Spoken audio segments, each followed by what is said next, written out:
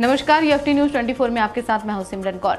शाहजहांपुर पुआया में पाँच अगस्त को वरिष्ठ समाजवादी नेता जनेश्वर मिश्र जयंती पर समाजवादी पार्टी के नेता दिनेश कुमार एडवोकेट ने साइकिल यात्रा निकाली जो कि अपने आवास से 10 किलोमीटर और गंगसरा तक रैली को पुआया के विभिन्न क्षेत्रों में घुमाए।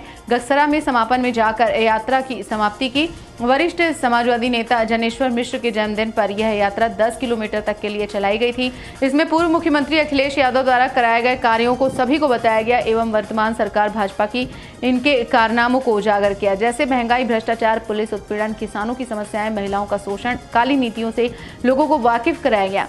यह सब भाजपा की नाकामी को गिनाया गया। इस कार्यक्रम में उपस्थित रघुनंदन मिश्रा, पूर्व प्रधान बितौनी, रामसागर वर्मा, अवनीश करनापुर विजय पाल सिंह, बलराम सिंह, विपिन तिवारी, पंडित विपुल प्रसाद समसुल कमर सरदार अंग्रेज़ सिंह, ओमी ठाकुर, सूरज शुक्ला, सौरभ शुक्ला, कुलदीप जुग्गन ठाकुर अजय पाल गुड्डू सत्यम कटिहार सौरभ कटियार, जतिन अमित सिंह, विजय प्रताप सिंह, भूपेंद्र सिंह, मदन पाल, आशीष सिंह जदीश जाटव, सुमित दीक्षित, अजीत, ब्रिजेश जाटव, कैपिल गौतम, मुन्ना गौतम राम सागर वाल्मीकि, छोटे धोबी, राजीव धोबी, सुखपाल, अनुराग शुक्ला, राम ब्रिज, विश्वकर्मा सतबीर सिंह, अनिल जाटव, सर्वेश, विनोद, अरविंद कुमार आदि लोग उपस्थित रहे।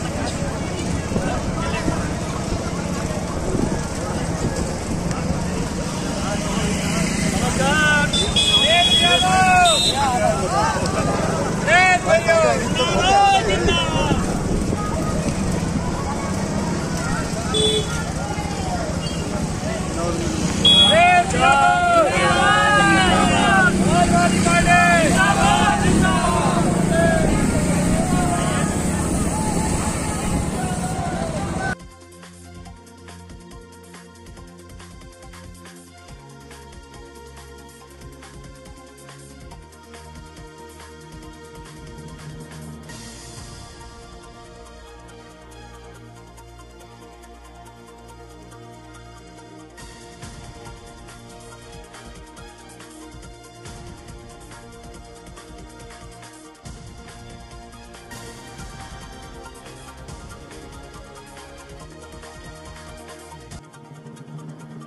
की नीतियों को आप लोग पहुँचाने का काम करें और जनेश्वर मिश्र जी को सच्ची श्रद्धांजलि तभी होगी, सत सत नमन तभी होगा जब अगली बार जनेश्वर मिश्र जी की जयंती मनाई जाए। तो अखिलेश यादव जी यहाँ के मुख्यमंत्री हो।